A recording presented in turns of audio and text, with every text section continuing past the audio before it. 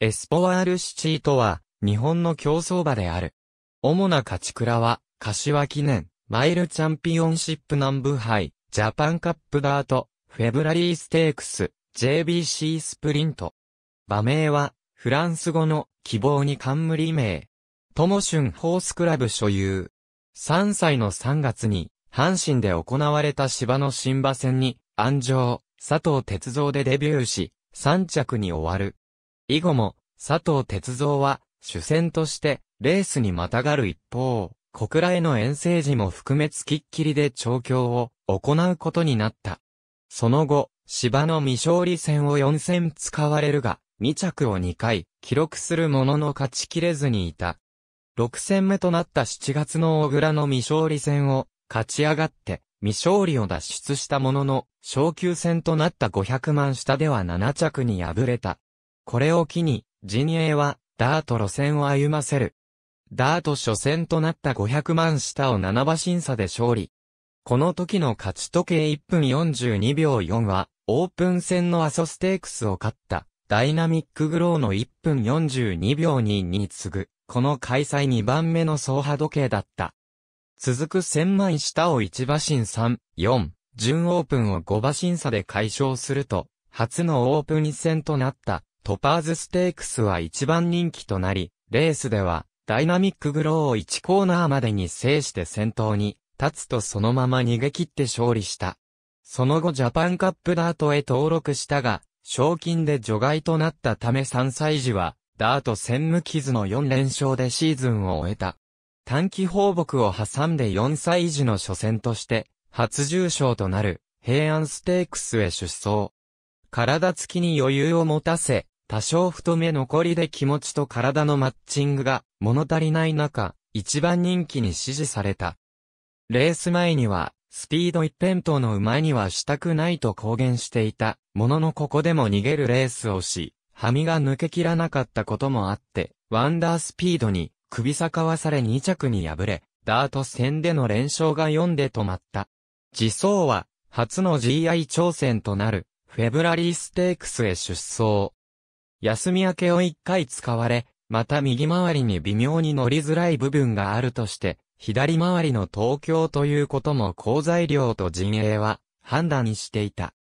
レースでは、せっかくの GI だし、力試しのつもりで行ったという佐藤鉄造の判断でここも先手を奪うと、前半1000メートルを58秒8で逃げる。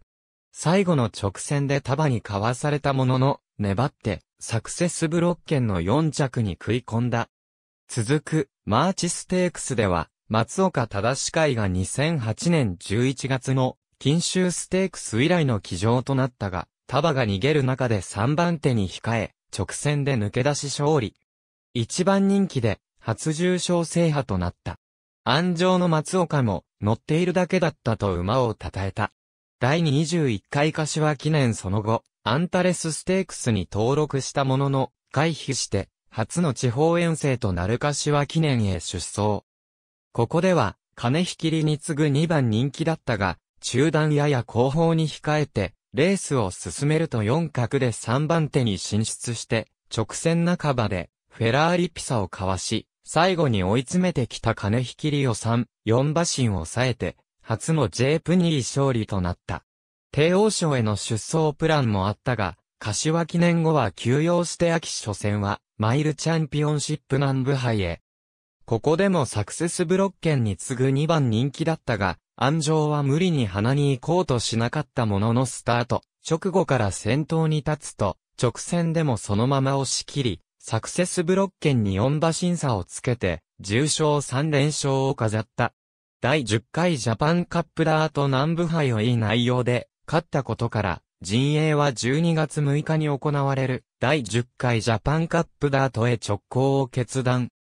体が増えて丈夫になり心配事は全くなくなったと話す陣営だったが、希望していた大外枠ではなく、最内一番枠となったことに、安城の佐藤哲造は最後の試練だと感じた。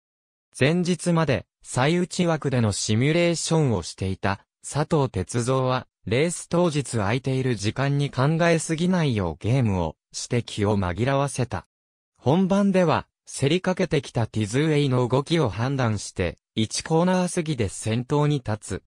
そのまま折り合いをつけて逃げると、直線も束を突き放し、シルクメビウスに3馬身1、2をつけて勝利し、ジョギー競争初優勝を果たした。佐藤鉄道と馬主のトモシュンホースクラブは2004年、宝塚記念のタップダンス7位以来となるジョギー勝利。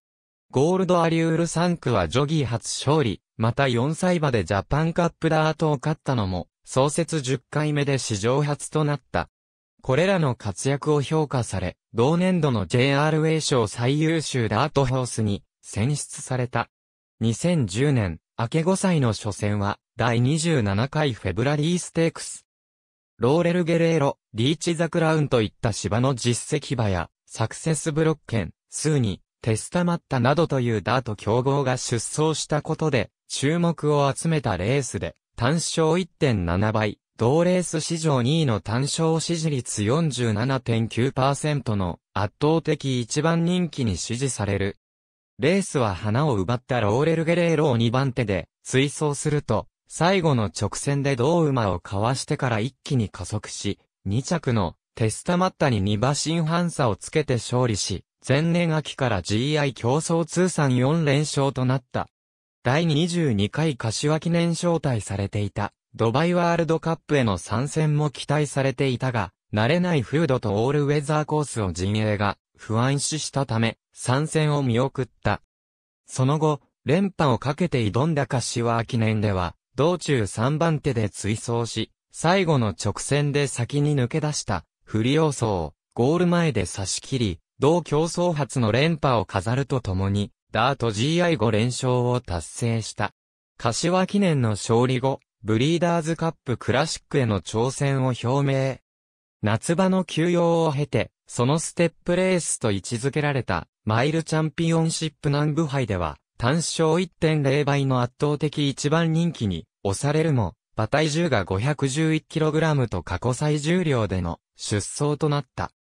レースでは、スタート直後先頭に立つが、隣外枠のセレスハント、大外枠のオーロマイスターに先を譲り3番手から進める形となり、後の岩手競馬 HP のメインレース結果によると、時計の速い今週の盛岡では、C 級のマイル戦でもこれくらいのラップが出ている。GI のペースとしては明らかに遅い。と指摘される、スローペースとなった。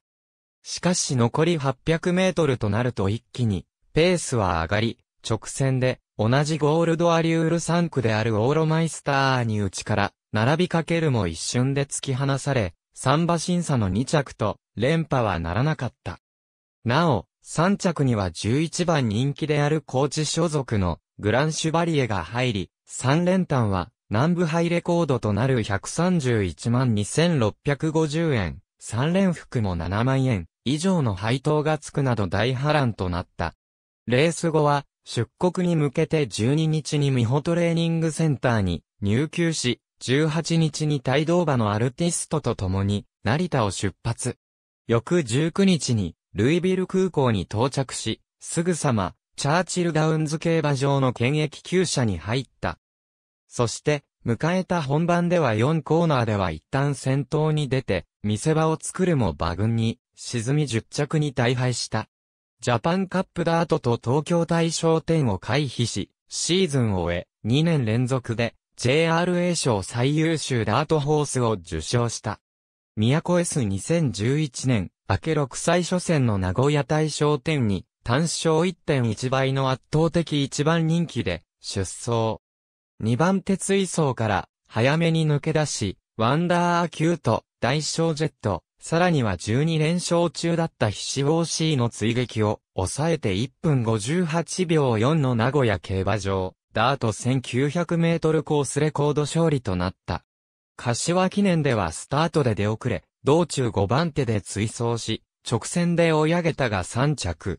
帝王賞では3番手で追走するが逃げる、スマートファルコンに急馬審査をつけられ2着。夏の休養を挟み、秋初戦のマイルチャンピオンシップ南部杯では、主戦の佐藤哲三が、前週に落馬負傷したため松岡正会に乗り換わりとなり、先行して、レースを引っ張り、直線で突き放しにかかったが、トランセンド、ダノンカモン、シルクフォーチュンにかわされ4着。みやこステークスでは逃げる、東証フリークをマークして2番手を追走すると、直線で早めに抜け出して、後続を突き放し3馬身半差をつけて圧勝した。ジャパンカップダートでは逃げるトランセンドを2番手で、マークするが直線で突き放され、内から追い上げた、ワンダーアキュートにかわされ3着に終わった。2012年、明け7歳初戦の平安ステークスでは、道中3番手で追走するが直線でヒラボクキングを捉えられず2着に敗れた。フェブラリーステークス直前になり、主戦の佐藤哲造が落馬負傷したため、竹豊と新たにコンビを組むこととなった。フェブラリーステークスでは、道中5番手で追走し、直線半ばで馬群から抜け出したものの5着に敗れた。柏記念は、騎手が佐藤に戻り、2番手追走から4コーナーで、先頭に立つと、フリオーソに2馬身半差をつけ勝利した。帝王賞では、道中2番手で追走するが、直線でゴルトブリッツにかわされ2着。エルムステークスは、後位追走から直線で、ローマンレジェンドとの叩き合いとなるが、首差の2着。マイルチャンピオンシップ南部杯では4コーナーで先頭に立つとそのまま押し切り優勝した。ジャパンカップダートは10着、東京大賞典は5着に敗れた。JBC スプリント2013年は、フェブラリーステークスから始動し、競争中に微出血を発症しながら2着。柏記念では逃げたが北高たる前にかわされて2着。約5ヶ月の間隔を空けて、マイルチャンピオンシップ南部杯へ出走。逃げ切りで勝利を収め、史上4頭目の南部杯連覇を成し遂げた。本場に初めて騎乗した後藤弘樹は落馬負傷後、約1年ぶりに復帰した後 GI 初制覇となった。JBC スプリントでは、道中3番手から4コーナーで先頭に立ちそのまま、優勝、GI 競争、J プニー競争合計で9勝目を挙げた。続く、ジャパンカップダート7着を最後に現役を引退した。引退後は、優春スタリオンステーションで、種ボバとなる。2014年から種ボバ生活を開始。初年度は100頭を超える、種付け数を集め、91頭68頭と推移。2017年から3区がデビュー。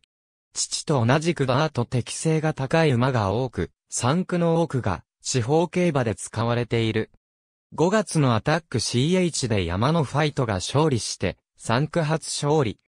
7月の新馬戦でマイネル・オスカルが勝利して、JRA 初勝利。9月のイノセントカップをヤマノファイトが優勝して、産駒重賞初勝利。同月のジュニアグランプリをモリノラスボスが優勝。